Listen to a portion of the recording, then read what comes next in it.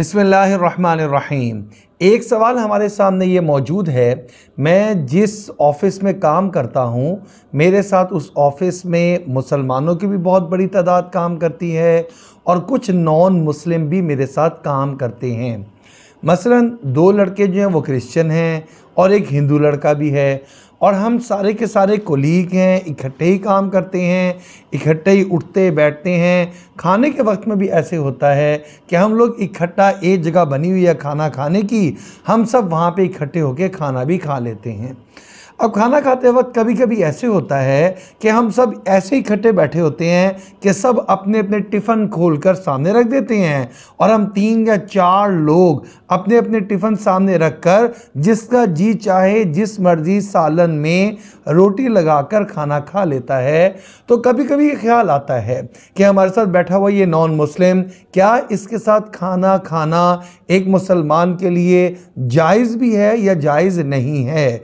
या उसके घर का पक्का हुआ खाना या उसके घर से जो रोटी पककर आई है, सालन पककर आया है, उसमें निजासत का उनसर है, नापाकी का उनसर कहीं ना हो तो ये सारे वहम और शुगो को शुभात हैं, जिसकी वजह से बाज़ात खाना खाने में कराहत होती है।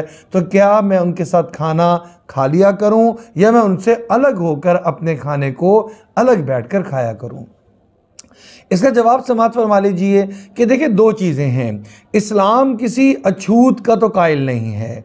यानी इस्लाम ये नहीं कहता कि एक नॉन मुस्लिम है और उसके हाथ से पक्की हुई रोटी खाना ये नाजायज़ है या उसके हाथ से पक्का हुआ सालन खाना ये नाजायज़ है। इस्लाम तो ये कहता है कि ज़ाहरी निजात अगर उसके हाथों पर नहीं लगी हुई तो उसके हाथ की पकी हुई रोटी भी ठीक है और सालन भी ठीक है।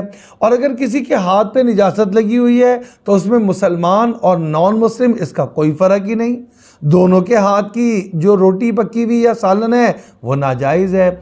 अब बाकी रह गई इकट्ठे बैठकर खाने की कराहत की बात। तो ये हर एक इंसान की अपनी तबीयत हुआ करती है। अगर आपकी तबीयत इसमें कराहत महसूस करती है और आप उससे जो है सही तरह बैठकर कंफर्टेबल माहौल में खाना नहीं खा सकते तो ये ज़रूरी नहीं है कि आप उनके साथ बैठकर खाना खाएँ। आप उठकर आप अलग हो जाया करें, लेकिन अगर आपको उनके साथ बैठने में कराहत नहीं आती और आप खाना खाते हैं या कोई और बंदा उनके साथ बैठकर खाना खाता है और उसको कराहत नहीं आती तो आपको उस पर एतराज़ करने का कोई हक हासिल नहीं है। आप सल्लल्लाहु अलैहि वसल्लम के दस्तरखान पर भी कई मरतबा इस तरह हुआ है कि नॉन मुस्लिम्स ने खाना खाया है। मुशरक आए, अभी इस्लाम कबूल नहीं किया। आप सल्लल्लाहु अलैहि वसल्लम का दस्तरखान बिछा। एक ही दस्तरखान पर आप सल्लल्लाहु अलैहि वसल्लम ने भी तनावल फरमाया और उनका भी इकराम किया गया। अल्लाह रब्बुल इज़्ज़त से दुआ है। अल्लाह रब्बुल इज़्ज़त हमें दीन के अहकाम को सीख कर उसके मुताबिक अमल पैरा होने की तोफ़ी अता फरमा दे।